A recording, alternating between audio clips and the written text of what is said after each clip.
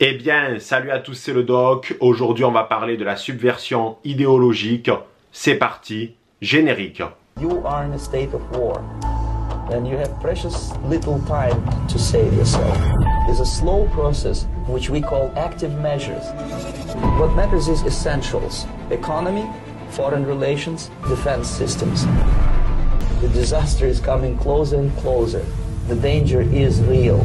Depuis quelques semaines, je rédige mon mémoire de fin d'études consacré à la subversion idéologique. Un concept passionnant que je voulais partager avec vous en vidéo, mais avant de l'analyser en détail, il convient de revenir sur la vie d'un personnage clé. Je veux bien sûr parler de Yuri Bezmenov. Yuri est né en 1939 en URSS. Il a mené des études brillantes, notamment en histoire, et il maîtrisait plusieurs langues.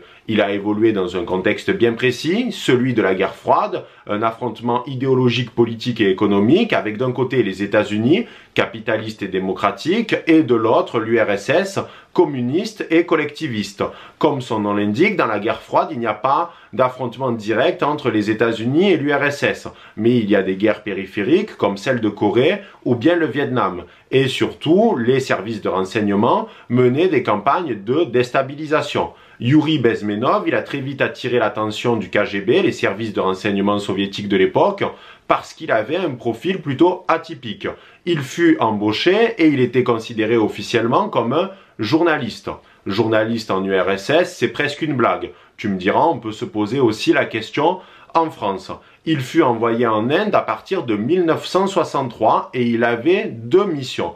La première, c'était la collecte d'informations pour le KGB. Et la deuxième, c'était de mettre en place une campagne de subversion idéologique. Au cours des années 60, Yuri a commencé à développer une haine et un ressentiment à l'égard de l'URSS et de son idéologie. À partir de 1970, il décide de quitter l'Inde parce qu'il a l'impression de trahir le pays alors qu'il aime profondément leur culture. Il se déguise alors en hippie, il rejoint un groupe de voyageurs occidentaux et il part pour le Canada. Là-bas, il demande l'asile politique.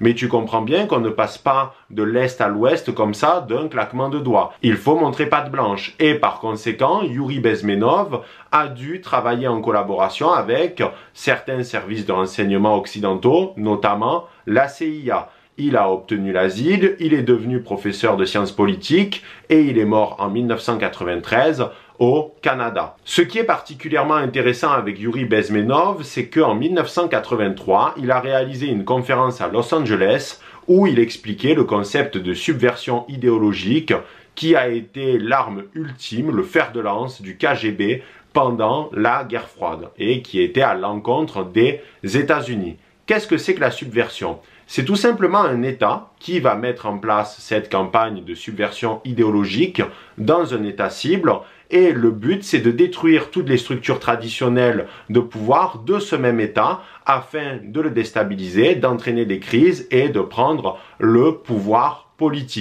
C'est tout simplement comment détruire une nation de l'intérieur tout en étant à distance sans guerre ouverte. Alors la subversion, on la retrouve pour la première fois dans les écrits de Sun Tzu, dans l'art de la guerre, où il explique qu'à partir du moment où deux pays rentrent dans une guerre ouverte avec des hommes sur le terrain, c'est que les deux ont mené des erreurs stratégiques majeures parce que la subversion, c'est beaucoup plus efficace, même si ça prend beaucoup plus de temps. C'est aussi plus pervers, mais les dommages sont aussi importants qu'une guerre avec des hommes sur le terrain. Et surtout, le pays qui va mettre en place la subversion va économiser du temps, des hommes et de l'argent. La subversion idéologique, c'était le fer de lance du KGB pendant la guerre froide. Ça représentait 85% de euh, leur activité, de leur argent et de leur effectif, alors que la collecte d'informations, de, de renseignements ne représentait que 15% de leur activité totale. Donc la subversion idéologique, c'était vraiment l'arme du KGB. Pour Yuri Bezmenov, il faut absolument sortir de l'image d'épinal que l'on peut avoir du monde de l'espionnage, avec des gadgets stylés, des belles femmes, du martini et des hommes en costume. Ce n'est pas du tout ça parce que la subversion idéologique, c'est un plan sur le long terme qui est fait dans l'ombre, dans le secret, et qui déstabilise un État d'une manière particulièrement Yuri Bezmenov explique qu'il y a des États ouverts et fermés. Certains peuvent subir plus facilement la subversion idéologique que d'autres. Les États-Unis et la plupart des États occidentaux sont des pays dits ouverts. C'est-à-dire que c'est très simple de mener cette subversion-là. Pourquoi? Parce que les pays occidentaux, qui sont des démocraties libérales, reposent sur un certain nombre de principes. La liberté d'expression, la liberté de circulation des hommes, des marchandises et des capitaux. Par conséquent, c'est très simple d'inoculer dans ces sociétés-là euh, des idées étrangères pour déstabiliser le pays en question. Par contre, il y a des pays dits fermés, c'est-à-dire que c'est très difficile de mettre en place cette subversion idéologique. Yuri en cite deux. Tout d'abord, il y a le Japon du XXe siècle. On le voit très bien dans le film Silence de Martin Scorsese, ou lorsque les premiers euh, missionnaires catholiques sont arrivés au Japon pour convertir la population, ils avaient euh, deux choix possibles.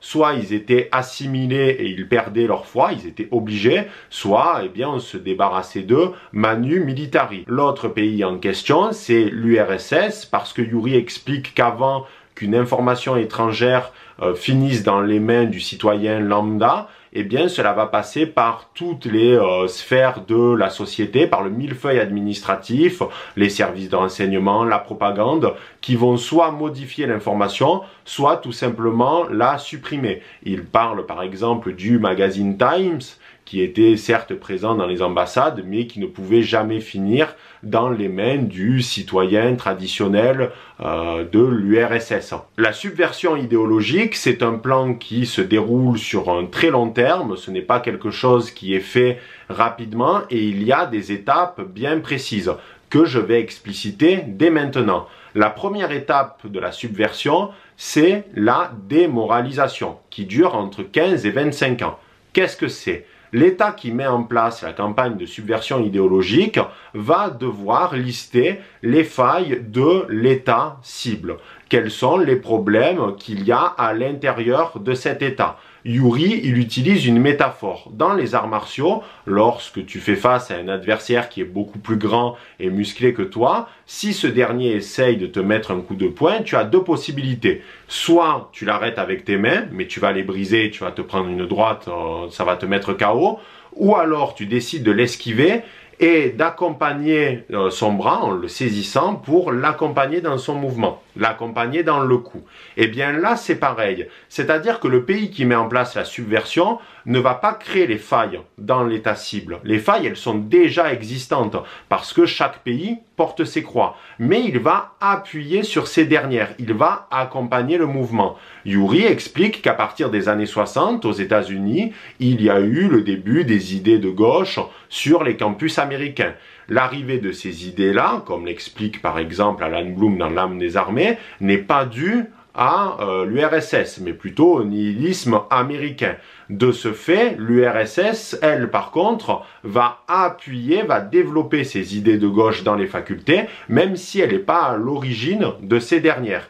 Donc, le but de l'État qui met en place la subversion, c'est d'appuyer sur les failles de l'État, et ces failles, elles existent déjà ce sont les problèmes politiques de l'État cible. De ce fait, dans l'étape de démoralisation, le but c'est de viser les structures traditionnelles du pouvoir. Par exemple, la religion. Comment on fait? On essaye de la désacraliser, de faire en sorte que les gens ne croient plus ou de remplacer la religion par des sectes ou du développement personnel euh, New Age. Ensuite, on va viser l'armée, les institutions en appuyant sur les failles de ces dernières. Par exemple, eh bien, euh, les problèmes administratifs qu'il peut y avoir à l'intérieur de ces dernières.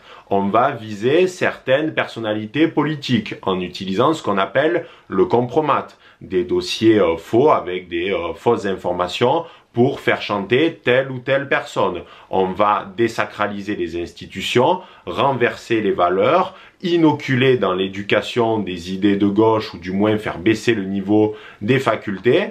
Et enfin, on va s'attaquer à la loi et l'ordre. Yuri Bezmenov explique qu'à partir des années 60, les Américains ont réalisé un certain nombre de films où le policier était toujours montré comme étant bedonnaire, pas efficace, pas attractif, alors que le loupard était euh, un jeune homme romantique plein de fougue. Et eh bien ça, ça les arrangeait parce que l'URSS a pu appuyer sur cette faille afin de désacraliser le policier. En gros, c'est tout simplement de tourner en dérision ou en ridicule toutes les structures traditionnelles de pouvoir. Imaginez qu'un État, c'est comme un bâtiment avec des piliers. Eh bien, le but, c'est de fragiliser ces piliers-là. Il explique également que le but, c'était d'inoculer dans les universités le marxisme-léninisme. Alors, on peut se demander, mais pourquoi la démoralisation prend entre 15 et 25 ans? Eh bien, pour Yuri Bezmenov, c'est pour qu'il y ait un renouvellement d'une génération. En gros, il faut inoculer de nouvelles idées dans la jeunesse pour qu'une fois qu'il soit adulte, eh bien, il puisse euh, déstabiliser le pays parce que ces idées-là vont à l'encontre de celles, eh bien, euh, de leurs parents. En gros, c'est vraiment de créer un changement de paradigme avec la nouvelle génération. C'est pour ça que ça prend du temps. L'étape de démoralisation, elle est extrêmement importante. Pour Yuri Bezmenov, le but, c'était surtout d'inoculer le marxisme-léninisme chez les étudiants américains et chez certains professeurs d'université. Et pourquoi pour lui c'était particulièrement simple? Parce que les failles de nos démocraties libérales occidentales, c'est qu'elles reposent sur le principe d'égalité. On dit aux gens, oui, vous êtes égaux devant la loi, vous êtes tous les mêmes, euh, l'État ne fait pas de distinction. Or, c'est faux parce que pour Yuri, euh, les hommes ne sont pas égaux de par leurs conditions. Certains naissent beaux, d'autres moches, grands, petits, intelligents ou bêtes. Et l'État ne peut pas euh, eh bien, effacer ces différences-là. Et il explique que ni le communisme ni le capitalisme ne peut enrayer les inégalités qui sont intrinsèques à la nature humaine. Mais c'est pas grave parce que le but de la subversion, c'est de dire à la population du pays cible, ah, regardez, si vous n'arrivez pas dans votre vie, c'est parce que votre système idéologique est corrompu. Embrassez le marxisme-léninisme. Lui, personnellement, ensuite, il a basculé du côté du capitalisme, mais il est très lucide sur le fait que ni le capitalisme ni le communisme ne peut régler cette problématique des inégalités. On arrive ensuite à la deuxième phase du plan, qui est la déstabilisation. Le but, c'est que l'État qui met en place la subversion trouve des ennemis intérieurs dans l'état cible. Les ennemis intérieurs, ils peuvent être multiples. Ça peut être des étudiants, des hommes politiques, des hauts fonctionnaires, des hauts gradés, des journalistes. Et le but, c'est que ces gens, on les retourne contre leur propre pays. On leur dit tout simplement que l'idéologie de leur État est mauvaise et qu'il faut embrasser d'autres conceptions. Ce sont les ennemis internes qui vont faire le taf à votre place. Et là, cette fois-ci, dans l'étape de déstabilisation, le but, c'est de détruire les structures traditionnelles de pouvoir et surtout de créer des antagonistes dans la société, de monter euh, tel groupe contre un autre. Et Yuri explique que dans le cadre américain, il fallait monter euh, des divisions entre les jeunes et les plus vieux, on l'a vu avec le mouvement hippie, et surtout entre les salariés et les patrons par le biais de syndicats, de grèves, etc afin de paralyser le pays. Donc dans la phase de déstabilisation, euh, l'objectif c'est de créer une radicalité dans la société. Il faut créer des groupes qui vont se faire la guerre. Et ce qui est intéressant, c'est que Yuri explique que les groupes, tu vas les financer, que ça soit le groupe A ou B. Par exemple, euh, tu vas financer aussi bien les patrons que les salariés.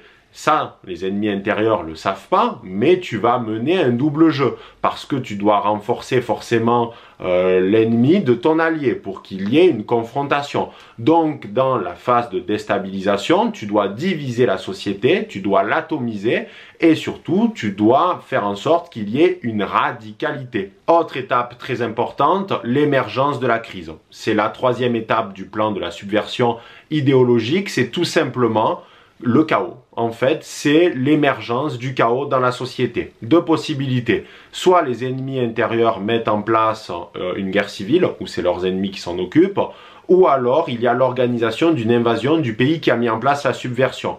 Là, c'était pas trop possible dans le cas de l'URSS et des États-Unis. C'était euh, une invasion d'une envergure beaucoup trop forte, mais c'est ce qui a été mis en place dans la plupart des États satellites de l'URSS. Dans tous les cas, le dénominateur commun de la crise, c'est le chaos et surtout le fait que les institutions sont beaucoup trop à la ramasse pour empêcher eh bien l'émergence de ce dit chaos. Et le but, c'est que l'État qui a mis en place la subversion soutienne cette fois-ci exclusivement l'ennemi intérieur parce que euh, c'est lui qui porte euh, l'idéologie similaire et que par conséquent ils doivent gagner pour la quatrième étape qui est nécessaire dans l'objectif final de la subversion idéologique. Enfin, on arrive à la quatrième et ultime étape de la subversion idéologique, le processus de normalisation le pays est à feu à sang, le pouvoir politique est absent, euh, c'est la guerre, c'est le chaos, et là le pays qui a mis en place la subversion arrive pour prendre le pouvoir politique.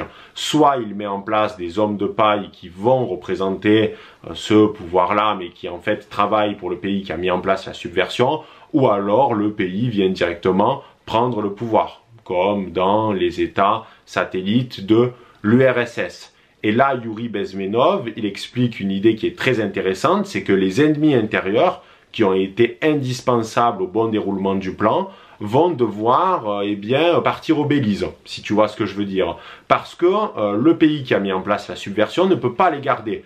Ils sont euh, trop instables. Ce sont eux qui ont mis en place la crise, qui ont créé la guerre civile, qui ont créé le chaos, les grèves et un certain nombre d'événements. Donc tous ceux qui étaient du côté de l'État qui a mis en place la subversion doivent eh bien euh, partir en vacances. Ainsi, l'État qui a mis en place la subversion va tout simplement reprendre le pouvoir politique par le biais de différentes façons et mettre en place la normalisation, un nouveau paradigme, une nouvelle idéologie et un nouveau système politique. Quand on analyse la subversion idéologique, on se rend compte à quel point c'est une pratique perverse et qui peut se montrer très efficace. D'autant plus qu'il est très difficile d'arrêter le processus de subversion idéologique. En fait, il y a un seul moment où il peut être stoppé, c'est au tout début dans la phase de démoralisation. Le pays qui subit la subversion idéologique doit être très attentif par le biais des services de renseignement ou d'autres moyens pour se rendre compte qu'il subit cette subversion-là. Il doit notamment se rendre compte des failles qu'il y a à l'intérieur de son pays parce que s'il ne les règle pas, les États adverses vont pouvoir appuyer sur ces dernières.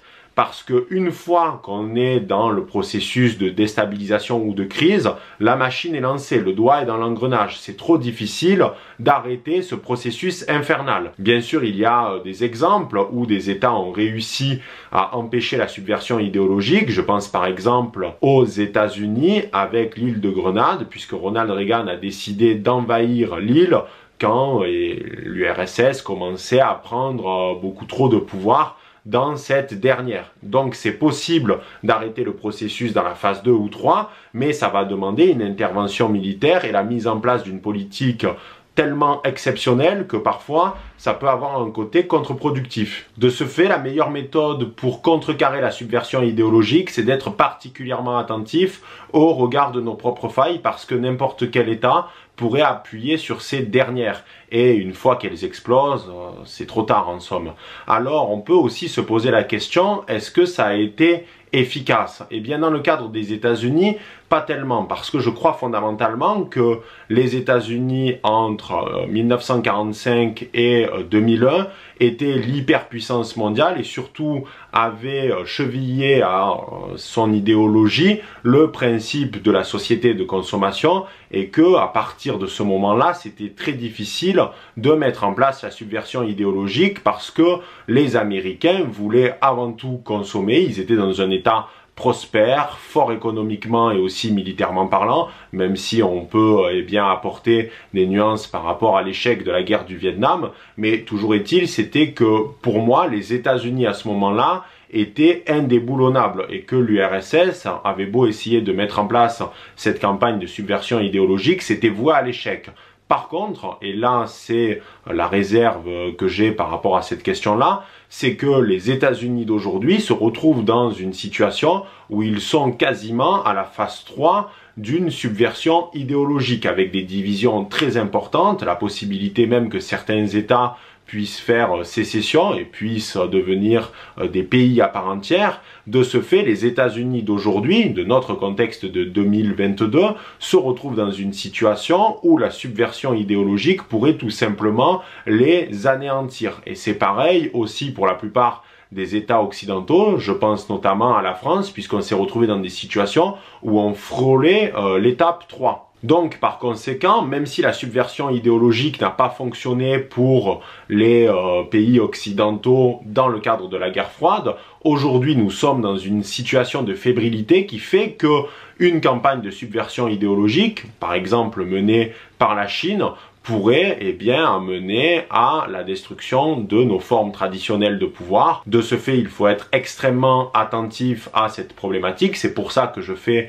cette vidéo et mon mémoire sur ce sujet parce qu'en réalité, nous sommes aujourd'hui toujours dans une sorte de nouvelle guerre froide. C'est ce que disait Peterson dans l'une de ses dernières vidéos.